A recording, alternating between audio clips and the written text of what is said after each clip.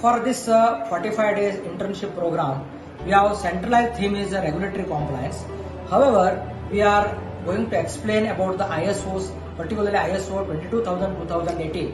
It will take care of entire uh, supply chain requirements. Start with the procurement of the materials, then how to manufacturing the product, how to fill the product, and how to dispatch to the product to the various uh, uh, capitals of uh, our country, and as well as the what are the nitty-gritties uh, during the transportation and how to sell in the market and what are the priorities uh, while keeping the product in the market. All these things are important. We are going to explain via via media of ISO 22000 2018 version. Objective of this course is to uh, take up the students which are already in the fourth year of uh, their career or just passed but they are looking for the job. So for them, this course is going to be helpful because they want to understand what is exactly to do in the when they entered into or got the job in the industry.